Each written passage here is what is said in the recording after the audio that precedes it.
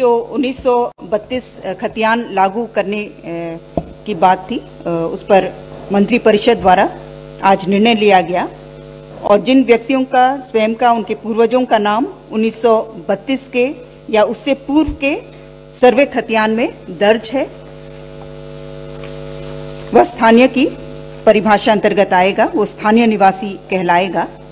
और ऐसे मामलों में जहाँ पर कोई व्यक्ति भूमिहीन है या फिर जो खतियान है वो पठनीय नहीं है, या फिर खतियान उसके पास उपलब्ध नहीं है तो ऐसे मामलों में उसकी पहचान ग्राम सभा द्वारा की जाएगी, जो झारखंड में प्रचलित भाषा, रहन सहन, वेशभूषा, संस्कृति, परंपरा आदि के आधार पर होगा। और इसमें जो आरक्षण का जो प्रतिशत है, अनुसूचित जाति 12 प्रतिशत, अनुसूचित जनजाति 28 प्रतिशत, अत्यंत पिछड़ा वर्ग अनुसूची एक, पंद्रह प्रतिशत, पिछड़ा वर्ग अनुसूची दो, बारह प्रतिशत। आर्थिक रूप से कमज़ोर नागरिकों का वर्ग उपर्युक्त क, ख, ग को छोड़कर दस प्रतिशत। यानी कि कुल सतहत्तर प्रतिशत आरक्षित कोटि से और खुली गुनागुन मेरिट कोटि से तेईस प्रतिशत। ये विधेयक झारखंड पदों एवं सेवाओं की रिक्तियों में आरक्षण, ब्रैकेट में अनुसूचित जातियों, अनुसूचित जनजातियों एवं पिछड़े वर्गों के लिए अधिनियम 2001 में संशोधन हेतु विधेयक 2022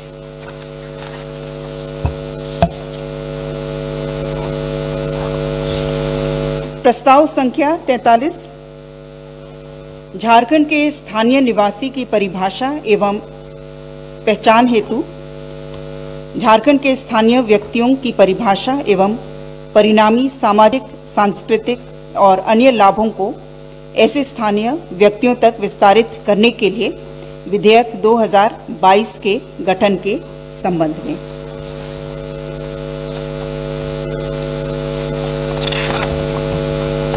इसके तहत जो मुख्य प्रावधान है वैसे व्यक्ति जिनके पूर्वज का नाम 1932 तथा उसके पूर्व के सर्वे खतियान में दर्ज है, उसके आधार पर स्थानीयता की परिभाषा रखी गई है और इसके लिए विधेयक का गठन किया गया है। और जो भूमिहीन होंगे या खतियान उपलब्ध नहीं होने की स्थिति में अथवा खतियान यदि पठनीय नहीं है तो ऐसे मामलों में ग्राम सभा द्वारा पहचान किया जाएगा। और यह भी विधेयक है और इसे भी नवी सूची में भेजने का प्रस्ताव था, जिस पर मंत्री परिषद द्वारा स्वीकृति दी गई। विधेयक पारित होने के बाद इसे नवी सूचनी में सम्मिलित करने हेतु केंद्र से अनुरोध किया जाएगा।